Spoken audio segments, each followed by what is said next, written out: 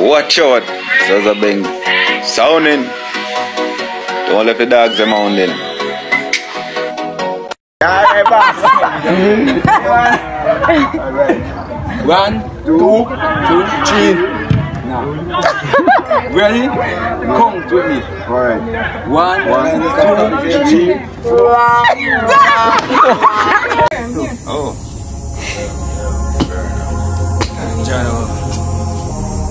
I can really know people, you know. But I know still alive.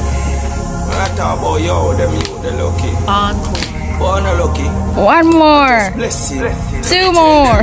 It's not a easy road, it really rough. Long time we are do it, sleepless night for we clan of woman. Bad boy, chill. By Burnham.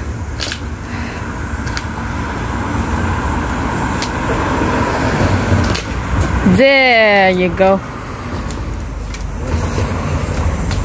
Other side. Burnham.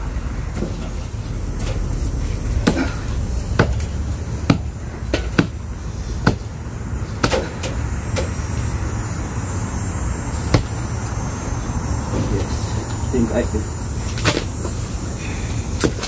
Door is open.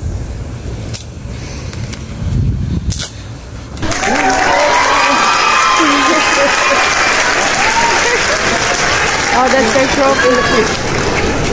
My trophy.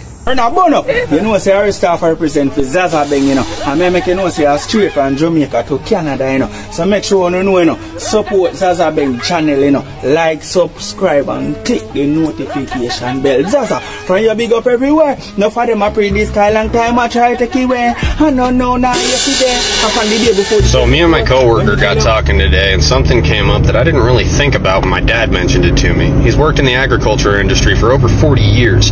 This year, farmers are being offered 1.5 times the value of their crops to destroy them.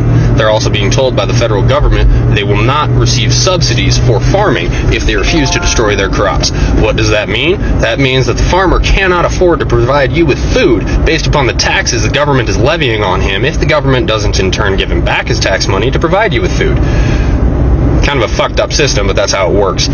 And, well, they're not going to subsidize them if they don't destroy the crops. They'll pay them more than what it's worth, and they want them to destroy it, and they'll still get their subsidies. They're trying to create a food shortage. We've got eight months to get our own food supply, or we're probably going to be facing mass starvation. Is it true that the government is paying farmers to destroy their crops? And the simple answer to that is Initially heard about the government paying farmers to destroy their crops, I thought it was a load of bullshit. Well, lo and behold, we received our destruction notice the other day. So basically there was two options on how to destroy the crop. The government could fly on Agent Orange, or we could manually destroy the crop ourselves. But we put too much blood, sweat, and tears in it to let them destroy it, so we decided to manually do it ourselves. Basically it said if we used a lawnmower to destroy the crop, we could receive an extra $600 an acre. Something about the low carbon footprint or something. So that's what we're doing. I got my letter yesterday. Um, the letter asking you to destroy some crop. Along with the letter, I had to sign for a certified package, um, which included these these two uh, binders, and then of course this three-ring binder on how to properly dispose of your crops. And as you can tell, it's on government paper. And as you can tell, um, this here is the affected area in my section of the county, um, closest town, and of course you can't run away even you live. So from the county tracts, then they break it down into these individual farm tracts that you have to destroy. And you can see the the crop or the field. As long as we're together, it don't matter where. This is the second machine that I dropped off here for the local farmers. Just want to show you a little bit of each drum. You got four of these drums, two on each side.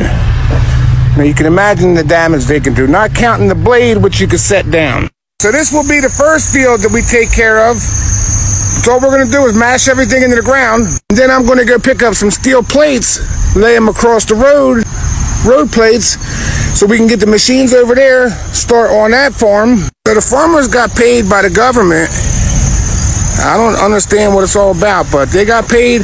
Now they hired us to come in here and just destroy whatever we can. I don't understand how it all works, but we're already paid for a certain amount of time.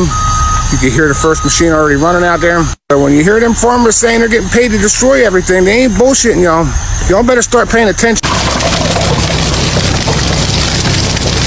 Well, what you saw right there ought to concern you. I was doing exactly what I was told via a letter I got last night in the mail from the Department of Hydrocarbons. They said in order to stabilize oil prices, they need a bunch of oil just dumped. And not dumped on the market, just dumped on lease roads and field roads and things like that. So I'm hooked up to that oil tank, going straight into my truck to get rid of it. Well, I'm going to get fined if I don't get rid of it, they said. So that prompted me to call District Selectman Tony Deloge and, and ask him about this letter. He said he didn't know much about it, but he would suggest that I follow whatever it says. So here we go.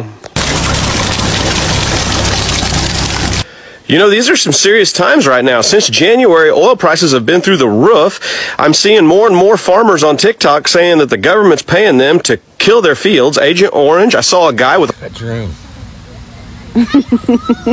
Drew. Line cutting it. What? Treasure, spring it as a place, it's not joke more time. We roll with K, burn a burn up. Make sure you support the Dan channel.